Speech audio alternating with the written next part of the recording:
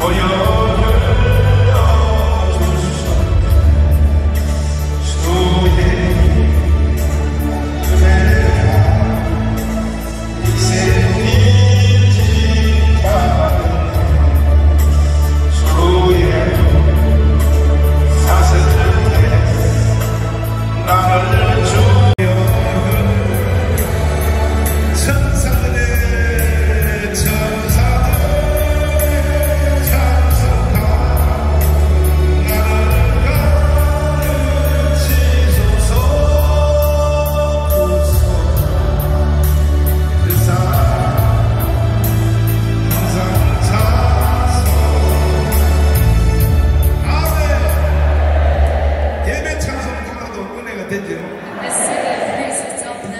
찬송은요 전청이에요 전청. And this is an entire. 예배 찬 And those who curse you will be cursed. 이거는 첫 시간도 말을 했처럼 And I said this in the first program. 이거는 우리가 누구를 축복하면 복이 온다는 게 아니야. And it's not talking about me blessing others, 그거보다가 개념이 더 있어요. but it has a different 내가. 누구를 저주한다. 그러면 그 사람에게 적이 온다는 게 아니고 It's not me 이보다 talking, 훨씬 세요. 우리는 가만히 others. 있는데 오늘. 밤에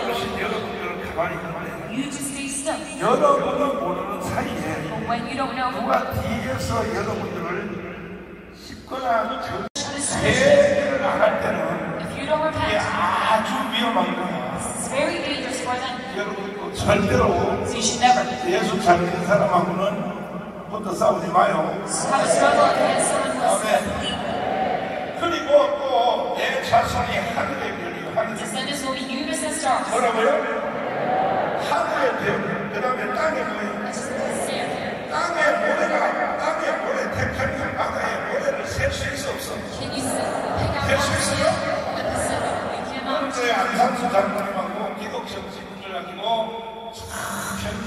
I 보면서 이 거대한 공사를 하려면 모래가 많이 필요한데 and there was many 이 모래가 있으니까 걱정하지 마.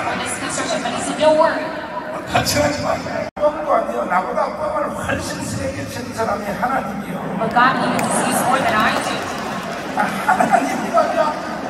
아브라함한테 뻥친 거 보내니까요. 자식이 한 명도 없는데 대놓고 말이야. Even having one 내. 자손이 하늘의 별처럼. Saying that he'll be numerous as stars. 원래 그래서 뻥쟁이는 하나님이 뻥쟁이야. So God, he's the original deceiver. 그러나 그것은 언젠가는 이루어져 안 이루어져? Soon to come, it will become a reality. 있습니까? Do you believe in this? 하나님이 아브라함에게 이렇게 축복을 해놓고 Give this blessing. 실제로 아브라함에게 준 And in 것은요 reality, he gave him 하늘의 별은 고사하고 not the stars, 이삭 하나만 있어 이삭 하나 gave him one son, Isaac. 이걸 갖게 뭐느냐 뻥 대장이라고 We call this the leader of all 하나님이 deceiving. 뻥 대장이라고 He is the leader of all deceiving.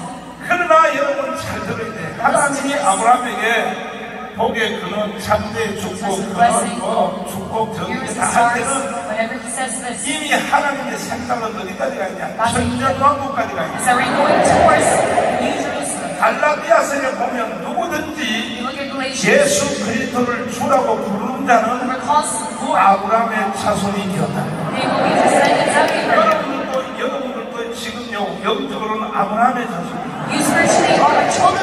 예수님이 부자와 거지 나사로의 비유에 대해서 말씀하실 때. 거지는 죽어서 누구의 품에. 성경 그렇게 안 읽었구나. 거지는 죽어서 누구의 품에 아브라함의 품에 bosom. 예수의 품에 갔다고 into 아브라함의 of 아멘. 이게 뭐냐면 하나님이 아브라함과 한 약속을 지키는. 여러분 내가 죽어서 언젠가는 천국 가요 안 가요?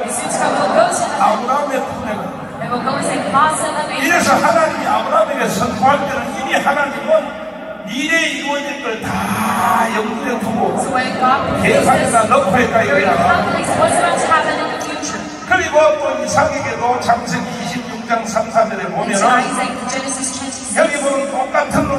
불러요. 아멘. 한번 읽어봐요. 창세기 26장 3절 읽어봐요. 이거 이삭에게 부른 노래거든. 시, 시, 시작! 이 땅에 임하면 내가 너와 함께 있어 내게 복을 주고 내가 이 모든 땅을 너와 내 자손에게 주리라 그 다음에 4절 시, 시,